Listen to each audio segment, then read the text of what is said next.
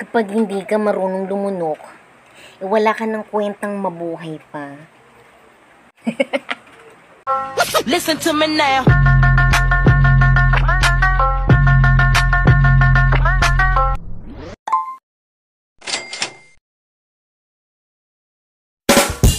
Ako si Buba, bulok ang aking tsuba Di lang pampamilya, kundi pang sports pa Buba, Buba, simpleng dalaga Pag umiibig, may sustansya Yeah! Woo! Challenge Diba? Yes naman Oh my gosh Go, go, go! Family isn't always blood. It's the people in your life who want you in there. The one who accept you for who you are. The ones who would do anything to see you smile.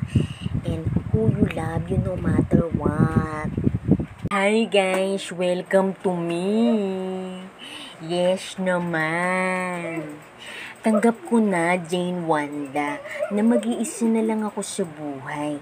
Mag-aalaga na lang ako ng aso, pusa at dagang kosta. Triggered yan.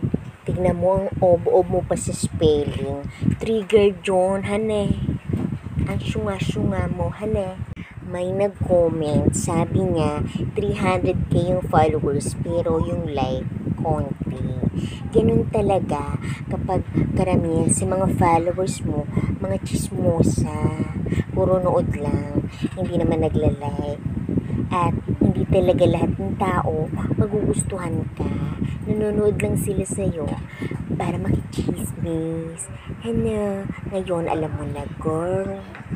Rufa May low budget. Bakit? Kailangan ba kapag ginagaya yung boses ni Rufa May? Kailangan ba nagbabayad? Ayan kasi, wala kang masabi. Tinignan mo na ba yung wallet ko or yung laman ng bank account ko? Ayan kasi, panay comment, di naman ako kilala. Isa ka talagang dakilang basher eh, no? Yung tipong walang kwenta sa pamilya, kaya hindi pinapansin ng magulang, kaya nambabash na lang ng ibang tao. Oh, kawawa ka naman, boy.